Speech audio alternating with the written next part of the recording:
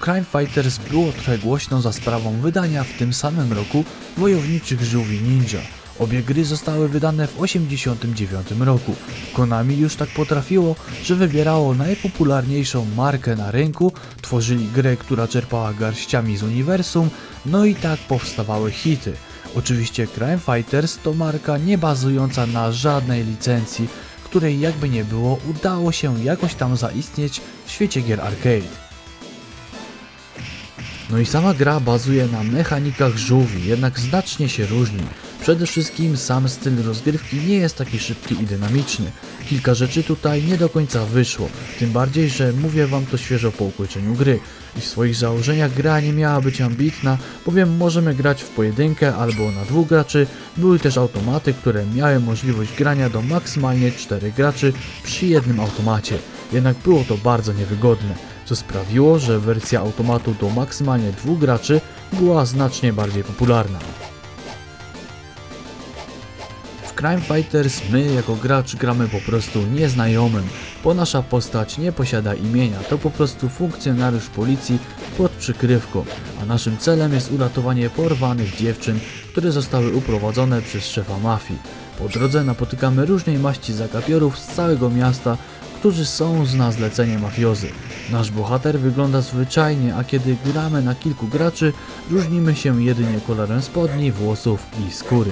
Jeżeli chodzi o graczy, to ruchy każdej z postaci są takie same. Tempo gry to bardziej Double Dragon, aniżeli wspomniane wcześniej wojownicze żółwie ninja. Oprawą graficzną też gra nie powala, wygląda ona przeciętnie, a niektóre gry z ery arcade do dziś wyglądają naprawdę dobrze. Tak Crime Fighters wygląda słabo, ale niech was pozory nie mylą, pomimo iż mamy tylko dwa przyciski odpowiedzialne za uderzenie pięścią i kopnięcia, to wychylając gałkę w różne strony możemy robić różne ciosy. Jest to trochę problematyczne z początku, jednak z biegiem gry system walki jest całkiem znośny i przyzwoity.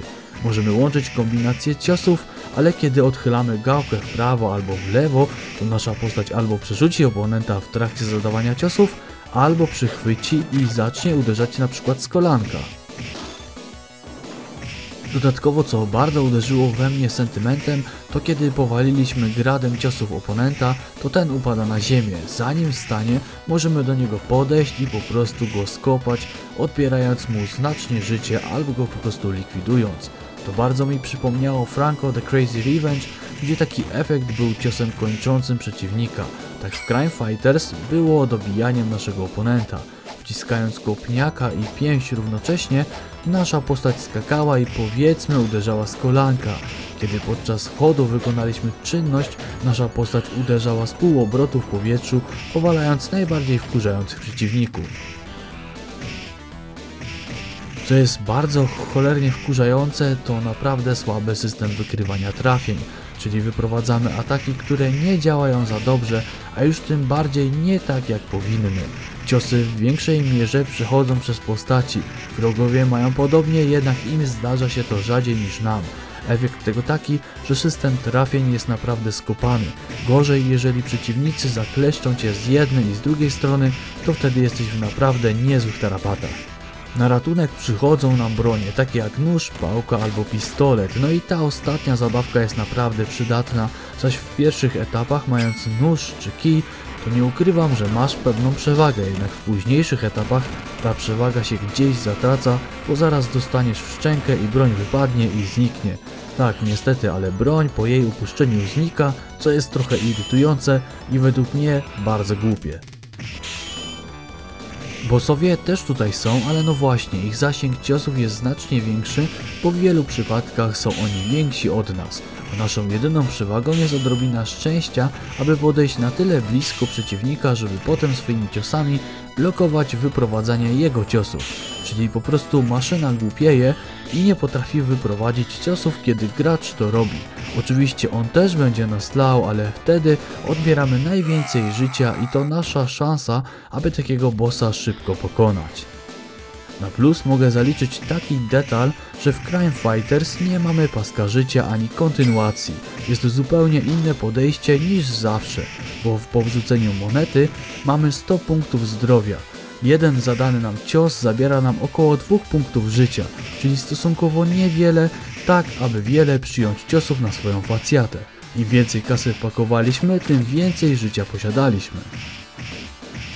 Gra odniosła sukces w Japonii, gdzie była trzecią utytułowaną grą w 1989 roku. Dwa lata później powstała druga odsłona gry, z tą różnicą, że już dwójka była znacznie lepsza, a na zachodzie i Europie nie nazywała się Crime Fighters 2 jak w Japonii, lecz Vendetta, podobnie jak gra z Commodore 64, którą niedawno recenzowałem na swoim kanale. Druga odsłona była pod wieloma względami po prostu lepsza od jedynki. Oczywiście na pewno ją kiedyś zrecenzuję, bo o dziwo za dziecka mogłem w nią pograć i wspominam ją bardzo dobrze, choć wtedy nie wiedziałem, że to już druga odsłona serii Crime Fighters. I tak jak na innych platformach mamy średniaki czy słabe gry, tak i na salonach arcade zdarzały się niezłe wpadki. Takim wypadkiem przy pracy niż wpadką był właśnie Crime Fighters, który zdobył jakieś uznanie w Japonii, zaś w Europie i na zachodzie nie był za bardzo rozchwytywaną grą. Ten tytuł to po prostu słaba gra, było za dużo dobrych gier w tamtym czasie, aby Crime Fighters miał jakąkolwiek siłę przebicia. Kolejny odcinek Automaty już za nami, a ja zapraszam Was na inne moje recenzje z gier. Do usłyszenia niebawem, trzymajcie się, cześć!